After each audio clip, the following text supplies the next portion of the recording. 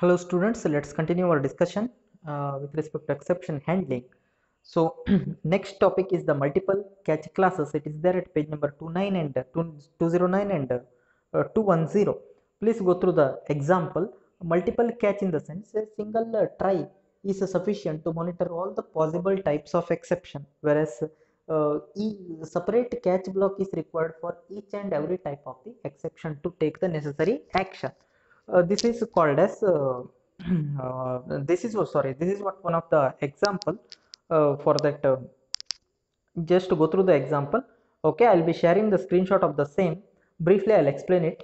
Uh, so multi-catch is the name of the file the class name so file name. This contains the main function as well. Um, observe here. There are two different things we are considering int b is protected divided by a. Okay and argument dot length it depends on. If uh, no argument is passed then a will remain 0 so 42 divided by 0 this this will become please uh, observe the pointer.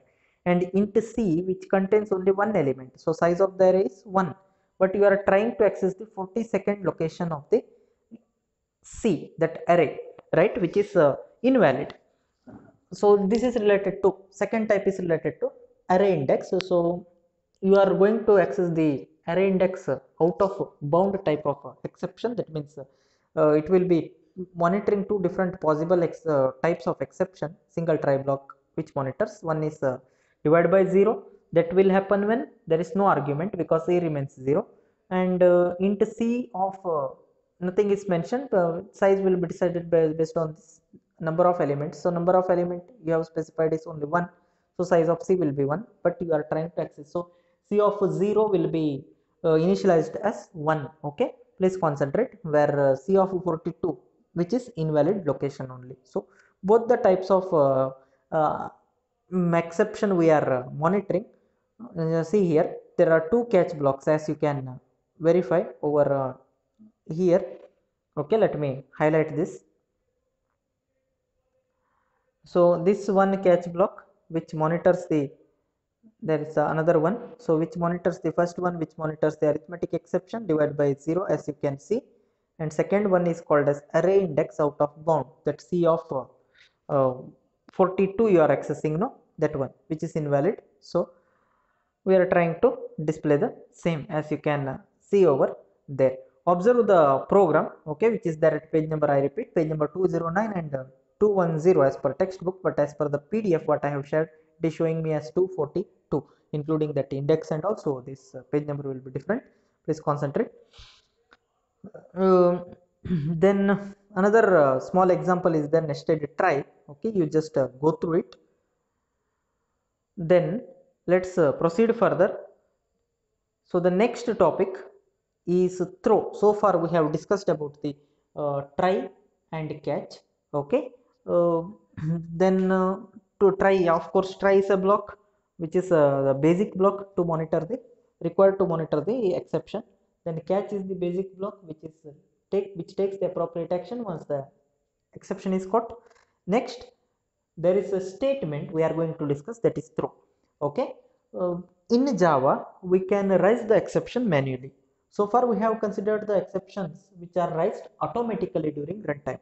Okay? So automatic generation is different and manual generation is different. Manually you can generate some sort of exception or erroneous situations. Okay? Let us see now how to generate the exception or errone- erroneous situations manually. Uh, that is done with the help of the statement throw. So please concentrate here. It's a statement. It is not a block. Difference between statement and block. The statement uh, is nothing but it will be having a keyword uh, followed by uh, some uh, variable or whatever you can say so type it something to be mentioned followed by semicolon. And block is nothing but it should be having flower bracket right? Set of code or set of statements you are going to write in between that flower brackets. So that is different. Throw is not a block. Please concentrate here. It is not a block. It's just a statement. Okay? Uh, so please try to understand this is used to the statement this statement is used to for what purpose? To generate the exception manually. Okay? So far the exception generated so far the exception handled they were generated by the compiler during runtime. Now these are the exceptions it can be generated by you okay at any interval of the any interval of time. So this will generate or raise the exception later on corresponding action due with the help of the catch block we have to take the corresponding action. Fine. Let us uh, better discuss by considering an example. Go through this example through demo. Okay i'll highlight it. It contains a method inside that is void demo process which is marked as static. So without the help of the object uh, static function can be called fine. There inside there is a statement. It throw a new exception okay? You have to mention the name of the class. Please remember uh, you are uh, referring to the built-in exception types. So you have to create the object of the corresponding class. Which class exception you want to generate manually or create manually? Mention the you if you want to create the, uh, the divide by zero exception then arithmetic exception object you have to create. Now uh, I am creating an object of the null pointer exception. Then object takes optional string. So this optional string now our string name is demo. Okay just for our reference we have written it as demo. Fine. This particular statement is included inside the try block. As you can see this is included inside the try block. So try block monitors hope it is visible right? This throw statement is included inside check here. How you will come to know this is included? See check for the flower brackets. Okay? Open and closing bracket is there for try. So it is included inside the try block. What it does it will manually generate an exception. Which type of exception? Null pointer exception. Since you have created the object of the null pointer exception. Observe. With optional name demo. String that is. Fine. Once the exception is caught it once the exception is monitored and it is caught it necessary action to be taken. Necessary action to be taken by whom? It is to be taken by the catch block corresponding catch block. So look for the catch block null pointer exception catch block you have mentioned here. Concentrate right? There check the body of the catch block. Please uh, understand body of the catch block. Catch is also a block right? It can see body of the catch block which begins over here. So there we put the um, flower bracket so system.out.println caught inside demo process. Fine. Once again we have mentioned statement.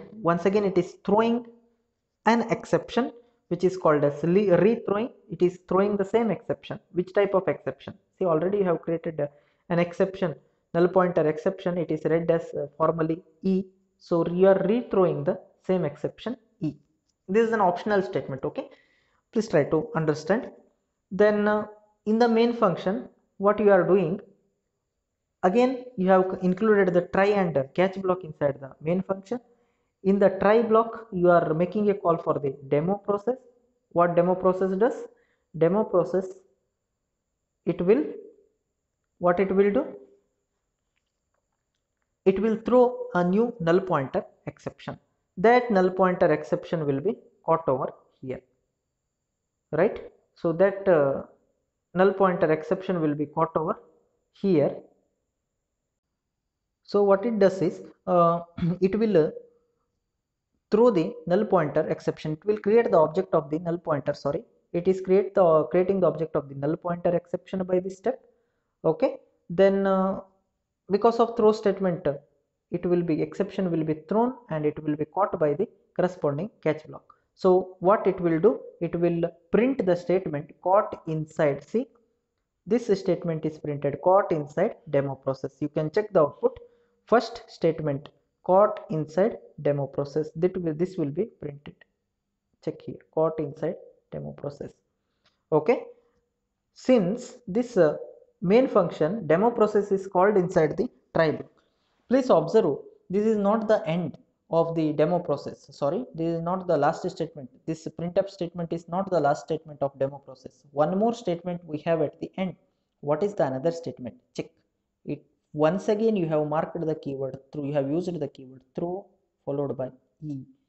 So what it does once again you have used a throw keyword. Throw keyword which will raise the exception manually. So exception will be raised and control will be returned to the calling function because there is no corresponding catch block to handle right? So which catch block will handle them? See here control will be returned to the calling function that main function. Main function also contains a catch block. Please try to understand. Check the pointer. Here the pointer i have used right? Exception is caught by this step. Because of uh, throw statement there is no corresponding catch block so it will change the path to the calling function. Who is the calling function? Main function is the calling function. Their main function which includes another catch statement. Please try to understand. It includes another catch statement. That the exception is caught. Same type of exception. Uh, you have mentioned that exception object you have mentioned null pointer exception isn't it? So what it does it take the action it takes the action. Corresponding catch block will take the action by printing the statement say recaught followed by content of e right? Plus e is written so content of e will be printed. You see over there recaught followed by content of e is nothing but its type will be mentioned. Okay what is the type? java.lang that is the package name. java.lang dot null pointer exception followed by optional name you have given. What is the name you have given? Demo you have given right please try to understand the concept. Watch the video repeatedly okay? Briefly i'll explain once again the usage of throw. Throw will manually cause the exception. It will manually raise the exception. Okay so far the exception topic what we have discussed in the previous video and all uh, those exceptions were created by the compiler during runtime. Okay here the exceptions are created manually by you with the help of the keyword throw. Once the exception is created necessary action will be taken. That is it will call the exception handler. The catch block it will call. And please remember you have to include the throw statement inside a inside a try block. Okay? If it is not included inside the try block then exception will be uh, the control will be returned to the calling function. There at least you have to have the try and catch statement. Okay? Please watch the video again. Refer to the program. Hope the program is visible. Right? Very small program it is. Pause the video and note down the program. Hope the program is visible. Right? It is visible. See here. And this side what is there? Yeah yeah just go through. Okay. These things are available. Okay. Yeah. Otherwise if it is not visible refer to page number 214 of the pdf what i have shared and note down the program. Okay. If it is not visible refer to the page number. What is the page number? 214 okay? I have highlighted it over here. Please see. And note down the program. Try to understand the concept. Watch the video repeatedly. Okay? If you have any doubt you ask. Thank you for watching